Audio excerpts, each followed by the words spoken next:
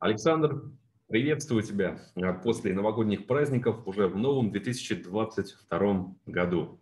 Приветствую тебя, Артем. Здравствуйте, дорогие друзья. Мы вновь с вами и посмотрим, как обстоят дела на финансовых рынках. Да, это точно. Очень рад то, что мне удалось э, э, снова обсудить совместно с тобой технические фундаментальные составляющие, которые есть на рынке, потому что сейчас э, Новый год принято считать, опять же, это, конечно же, новые возможности, э, но многие из этих возможностей, они э, все-таки еще, если говорить о фундаменте, э, тянутся с прошлого года, тем более, что я на своих ежедневных аналитических брифингах рассказывал, друзья, неоднократно, что в этом году может быть очень хорошая база создана для такого долгосрочного восстановления курса американского доллара. Сегодня, ну, традиционно, давай начнем с меня тогда. Сейчас, конечно же, рынки еще раскачиваются. Ну, точно ликвидность уже вся собралась. Все, кто хотел отдохнуть, уже отдохнули. Поэтому остается только лишь ориентироваться на какие-то фундаментальные триггеры, события а, и ждать соответствующей отдачи на эти события, соответствующей реакции рынка. А, я сейчас э, рекомендую всем особо не распыляться на какой-то большой набор финансовых инструментов, а сейчас э, э, в целом э, настроения остаются неоднозначными, и до тех пор, пока не появится какой-то более-менее четкой конкретной установки, я думаю, что она будет только лишь с фактическим решением предрезерва по полному сворачиванию программы количественного смягчения либо повышению процентной ставки, работать с точно, скажем, даже в рамках каких-то среднесрочных ожиданий. Я сегодня, давай к демонстрации экрана перейдем как раз э, хочу предложить несколько сделок. Это по европейской валюте против доллара, потому что я довольно оптимистично смотрю в отношении доллара. Индекс доллара и евро-доллар, в принципе, у них э, практически стопроцентная корреляция.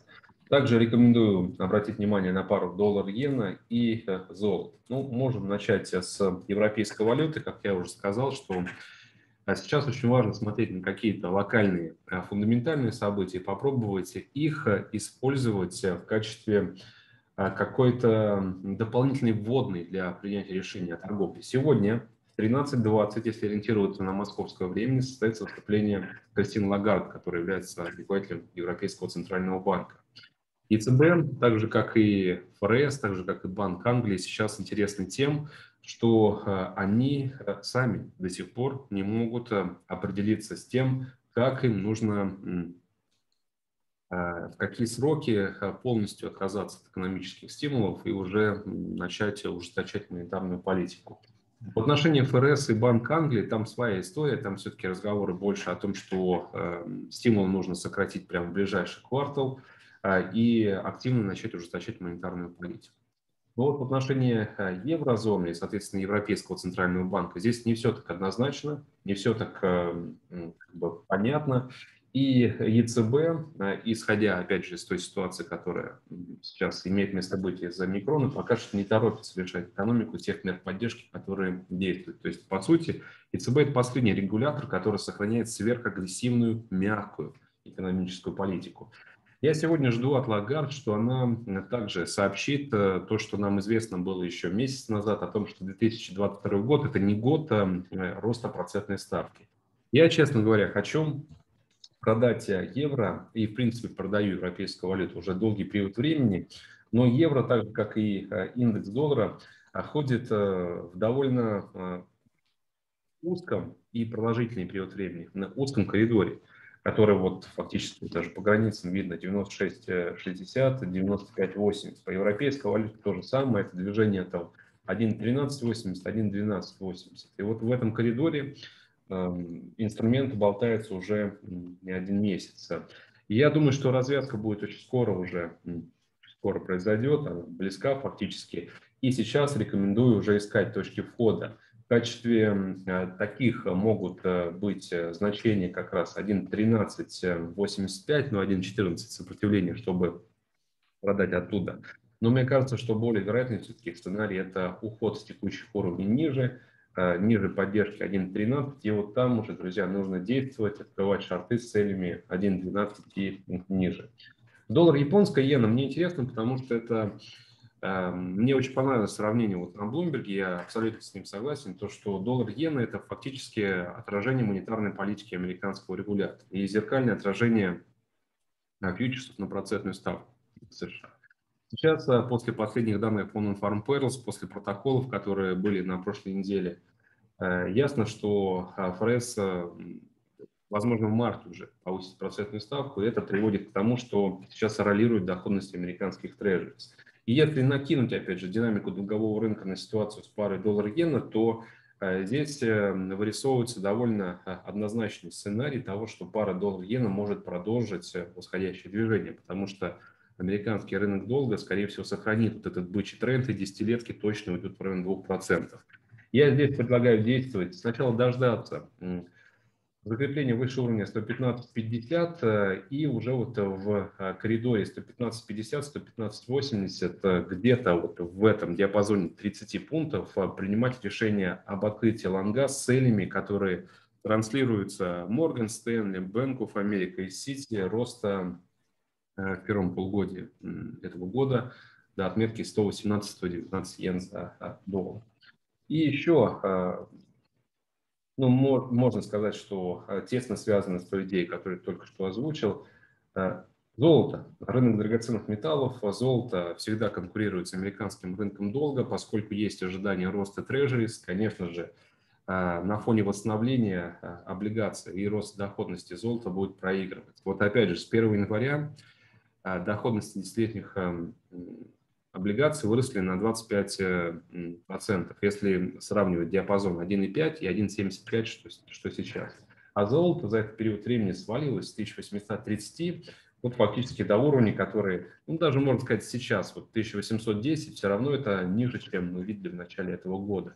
То есть, э, ну, очевидно, здесь э, теряют деньги, а американский рынок долга, облигации – это то, где можно заработать. я думаю, что эта тенденция сохранится. Поэтому золото после небольшой консолидации, после очередного вот теста там, поддержки 1800 долларов за тройскую унцию все равно разобьет, на мой взгляд, нисходящее движение и улетит в район 1770 долларов э, за тройскую унцию. Это, опять же, моя как бы, одна из основных рекомендаций – тратить золото. Э, даже вот, Александр, на э, ближайшую неделю до следующего нашего с тобой эфира, потому что завтра будет, а точнее сегодня, а, следом за Лагард будет выступать еще Джером Паул, который а, также может просигнализировать о том, что он не собирается отказываться от планов ужесточения политики, и это приведет к потенциально к росту доллара и, соответственно, к снижению рынка драгоценных металлов и золота в том числе. Слово тебе передаю.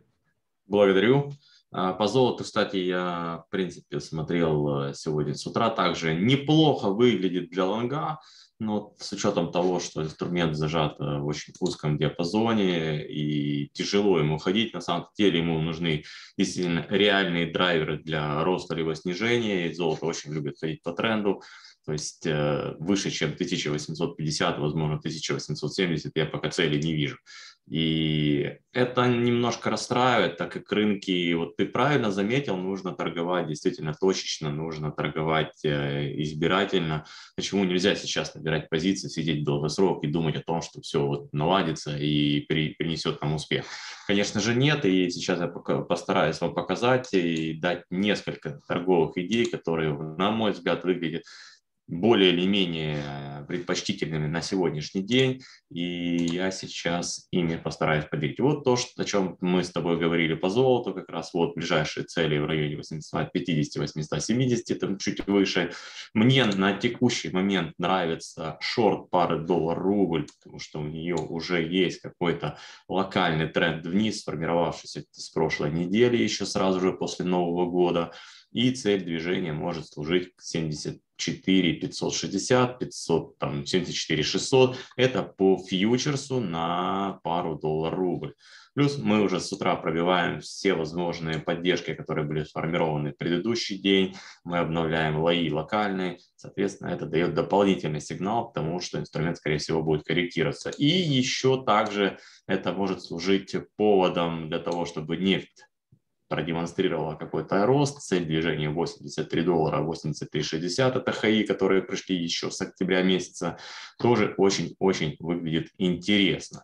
А, РТС бы я пока только наблюдал, потому что у него есть нисходящая тенденция, поэтому будем немножко смотреть дальше.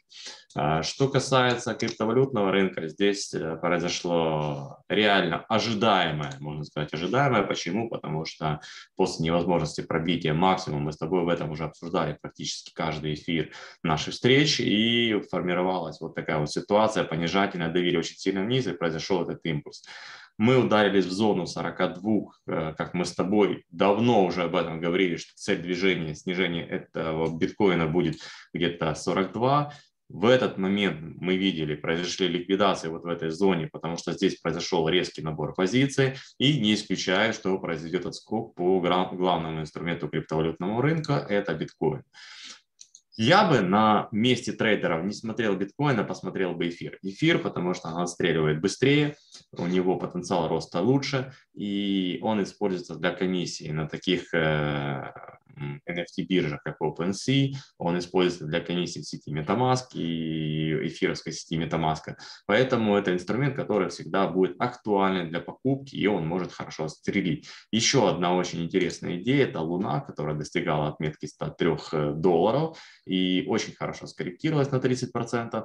И здесь, видите, продолжается восходящий тренд, он сохраняется, и есть возможность купить по более выгодной цене, нежели по 103. То есть для среднесрочной перспективы Луна подходит очень хорошо, Solana и Matic. Polygon Matic также э, очень интересная перспективная монета и сохраняется восходящая тенденция, нету никаких переломов, просто идет коррекционное движение. Поэтому вот такие вот инструменты, как эфир, Solana, Луна и Matic, я бы рекомендовал присмотреться для спекулятивной торговли. Луна, возможно, даже в средний долгосрок, и биткоин, если вы любите его торговать, я считаю, что он очень дорогой для торговли, стопы по нему очень дорогие, вот, также может продемонстрировать отскок, и этот отскок э, имеет цель движения где-то порядка там, ну, и дай бог дойдет до 50 тысяч, будет хорошо. Пока что вижу где-то район 46 тысяч, это здесь будет как раз зеркальный уровень. А вот такие вот короткие и мимолетные идеи, потому что давать долгосрочные прогнозы сейчас дело неблагодарно, связано это с ситуацией на финансовых рынках, неопределенностью и непонятными трендовыми движениями, которые сейчас формируются. Это не шорт, это не лонг, поэтому будем торговать точечно, стараться оставаться в позиции кэш. То есть вы зашли, получили прибыль, либо закрылись по стопу, вышли в кэш, сидите, наблюдаете дальше для того, чтобы сформировать в будущем какую-то торговую идею. Артем, тебе слово, пожалуйста. Угу. Александр, большое тебе спасибо за твою точку зрения. Э, ну что, остается только наблюдать. Э, и э, ровно через неделю снова подведем результаты, итоги, посмотрим. Надеюсь, то, что я на самом деле тоже в душе крипт-энтузиаст и очень хочу, чтобы рынок рос. Но надеюсь, что все-таки ну, уже скоро будет достигнуто, и мы увидим более-менее какую-то разумительную бычью динамику. Это было бы очень хорошо для да. всех криптоэнтузиастов, да, для да. всех криптолюбителей, которые проинвестировали в крипту и надеются на прибыль. Вот чего я вам и желаю, в принципе, в окончании данного эфира. Я хочу пожелать вам хорошей торговой недели, отличного настроения. Увидимся с вами в следующий вторник. Спасибо еще раз и до скорых встреч. Пока. Всего доброго, Артем. Всего доброго.